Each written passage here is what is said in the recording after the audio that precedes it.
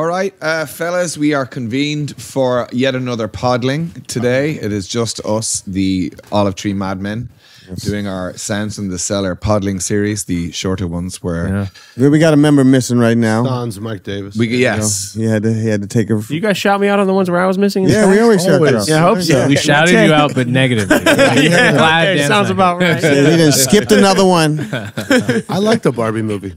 Okay. Yeah, Okay. that's- So you like the point. Barbie? Yeah, yeah. I I like liked the it. Barbie movie too. You you I like? didn't like it. Oh You wait, didn't like I it? thought I you didn't did like the Barbie No, movie. no. What didn't you like about it? All right. So here's what. Oh, boy. So I I went in thinking that she's in the Barbie world. She's in this imaginary world where everything is simple and Yeah. her life is simple. Then she goes to the real world, and I thought it was gonna get gritty, and she was going mm. to actually be in the real world, and that's that was gonna be the arc of the movie, and I thought that was really interesting. Oh, like she was gonna do But- real world shit. Yeah. Yeah, in but the real then when she got to the real world, the real world was still a cartoon version of the real world. Right. So, like for a point. example, she Oh, yeah, someone the, like, someone Will slapped her on the ass within a minute of being in New York, and like that's not really what misogyny is. That's like a cartoon version of misogyny. Like Right. real misogyny is a lot more like nuanced and fucked up and interesting. But they mm-hmm. basically made it a cartoon version of the real world too, and that's when they kind of lost me because I'm like the fake world's a cartoon, the Barbie world's a cartoon, and the real world's kind of a cartoon. So there's not enough contrast, and it kind of lost me for that reason. Mm. They could have gone real world. Good like- point. and I haven't even seen it. they could have gone real world. Like, remember the Teenage Mutant Ninja Turtles movie from like 1988 or something? that it was real in New York. Yeah, yeah. It's too real. Yes, yeah. kids. That's kind of what I, I remember wanted, watching that. being like, You know? yeah. Yeah. Maybe that's what it needed. Uh, I Well- hear you. Yeah, no, go on. No, I mean, What do you guys like about it? I liked, well, as a you know, as just a white man in America, I was, I was, I didn't consider the fact about how much of a negative impact it had on women's self, you Image. know, image. Yeah, And What? I- What? I- Like the Barbie toy? yeah, the Barbie toy, and taking that seriously. Hmm. And I thought it was, um, it was, I thought they did a good job of explaining that. I liked the fantasy aspect of traveling between the worlds. Mm-hmm. Yeah. I liked the Billie Eilish song. That Yeah. song's killing. Yeah. The song is killing. We do. Uh, I like Margot Robbie. Yeah. Well, yeah. She's great. Yeah. But did you think that um uh the that that kind of shortcoming, whatever, that it was still a cartoonish? Did you? I guess it took you out of it, but you think like writ large, like taking a step back, that the movie and the kind of its aims in terms of like w- its narrative really took a hit because of that. Probably not. I think, I mean, enough people liked it that it was objectively good. Yeah. And it also communicated that message of feminism and, you know, the ways in which it's harder to be a woman. Yeah. That I think resonated with a lot of people, especially Yeah. people Yeah. f- who maybe heard that for the first time. But I talked to my sister afterwards, and we were talking about the famous speech where she's, Mm. Yeah. you have to to be a woman, you got you got to be look like this, but you can't be too much this. Whatever. Mm-hmm. Yeah. Right. And my sister looks at me and she's like, "It's not that hard to be a woman." but that that's just her. Um, yeah, yeah. No, I mean your sister's also really hot too, which helps I think a lot. You know, for her experience, I would say. Keep talking. Keep talking. See where it gets you. I love it. They're really Your sister's not that bad neither, Dan. Yeah, yeah. yeah.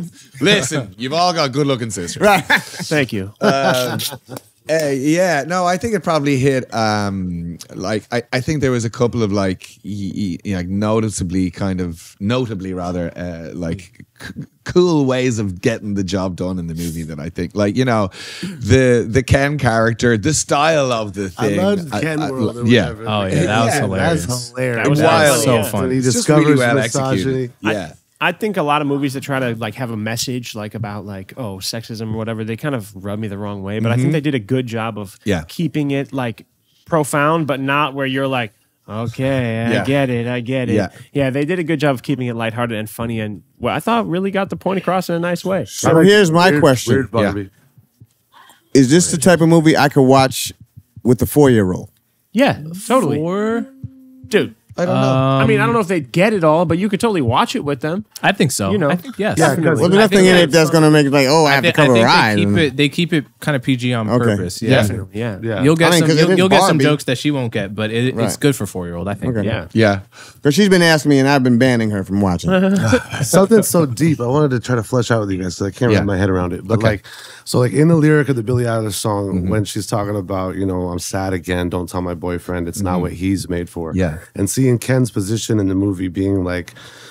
Just there for Barbie, just hoping Barbie's gonna look at him and just like that, and like I don't know, just something. There's something there that's deep. I'm trying to, you know. What I mean? I so I my feeling from that lyric is uh repeat the lyric there again.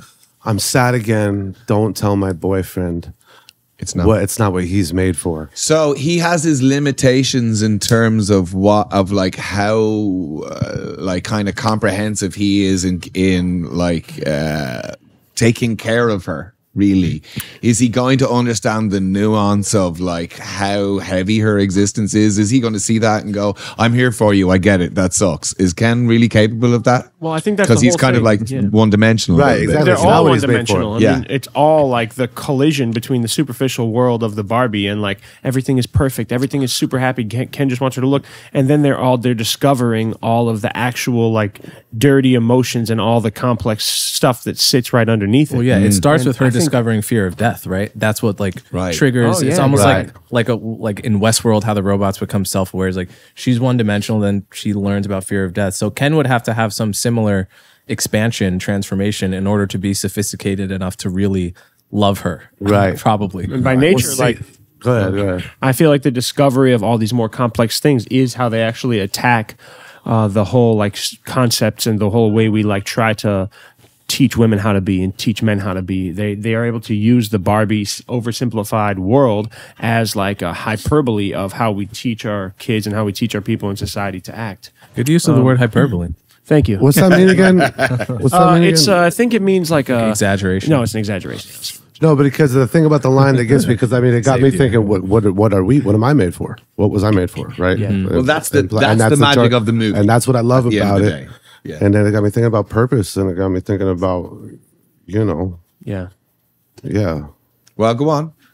Did you think about What, how are, what are you made for? What am I? What? what yeah. So that implies I was made something, which is mm. cool, which uh-huh. helps me sleep Yeah. at night. I don't know about you guys, but um, no, because it like got me thinking about the times when you fight with your significant other or something, and like mm. if I make them sad, it's mm-hmm. like I'm not made for that. I'm not here for mm-hmm. that. You know what I mean? Even though that happens, but you know. Well, did you think? I was curious to see, like you was said, I what was? I made for? Like, do you often feel that you're kind of uh, what's the word, pigeonholed, in terms of like uh, who Nick is and what Nick does? Not really. I've always No. been into it. Okay, I've always been into it. into it meaning I'm Nick the guitarist, I'm the Nick Yeah. the genius. I'm ready whatever. to go. Let's yeah, go. yeah, Let's go. right. Well, speaking of which, uh, so I guess the reason that we're on topic of uh, Barbie as a, a jumping off point today is uh, we just did a new version of the Billie song, and uh, it's really lovely. Yeah, so tell us why why you uh, picked that or why you were thinking of doing that version. Good to see you, buddy. Crushed it. Um, I mean, I love that song because of the simplicity of the Yeah. lyrics and Yeah. the way that it can mean so much to so many people. Yeah. I like her. Yo, Christian McBride, who's going to be a guest on here. Yeah. He did.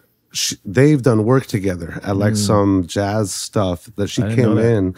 Um, and she was a si- featured singer on some stuff. I can't remember what song she sang or if she even sang jazz or whatever, but she came in with a big band and he said she was like a cat, like mm, fucking really? telling people their parts, helping mm. people, great energy of rehearsal, rehearsing things with people. Yeah. Like like in the shit. Wow. That doesn't which is- surprise me. Yeah, it doesn't surprise me. Yeah, she which gives off cool. that vibe. Yeah. It hundred doesn't percent. surprise me either. There you go. but yeah, no, I fucking like this song. But um, again, like how we do with some songs here, I think there's a way to reimagine some songs for us. Like for this one, we changed the time signature from four four to six eight. Um, we changed the key obviously so I could sing it. Yeah. Um, also, it makes it makes uh, there's something very sing songy about when you when you put a melody in that framework. It becomes more.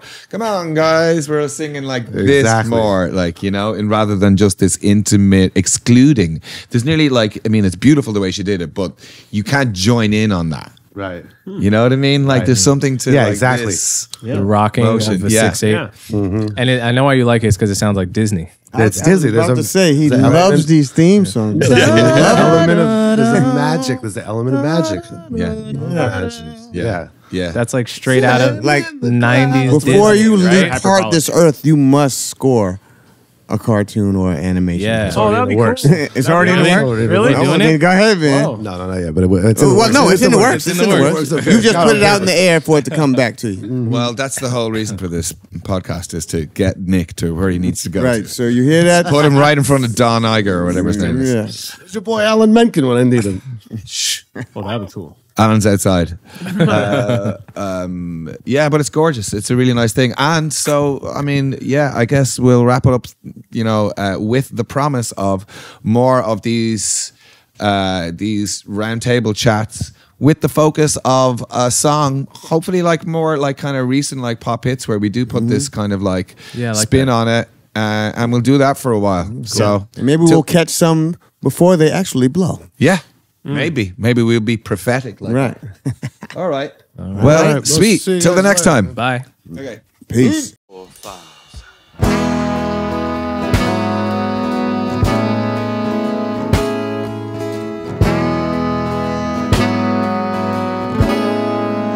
I used to float, now I just fall down. I used to know, but I'm not sure now what I was made for.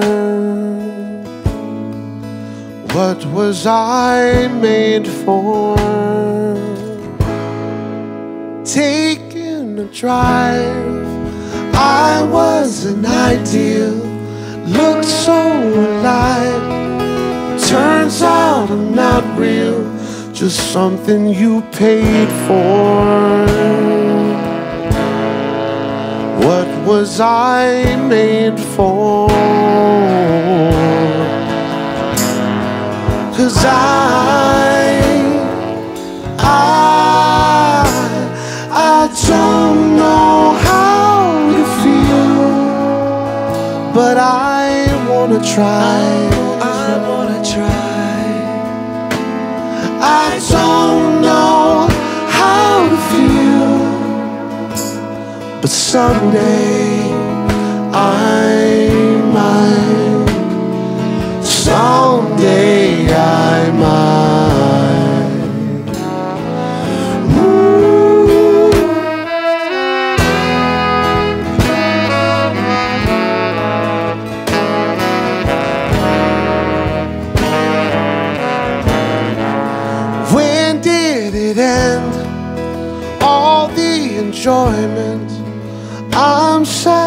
again. Don't tell my boyfriend it's not what he's made for. What was I made for? Cause I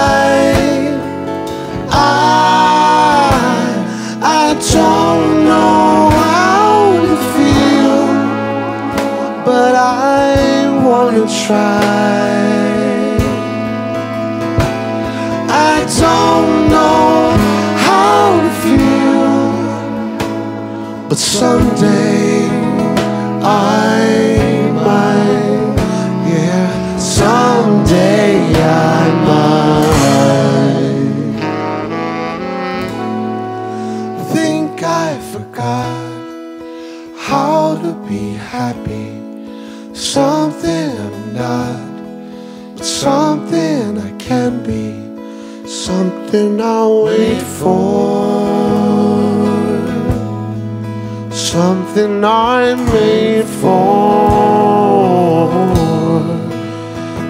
Something I'm made for.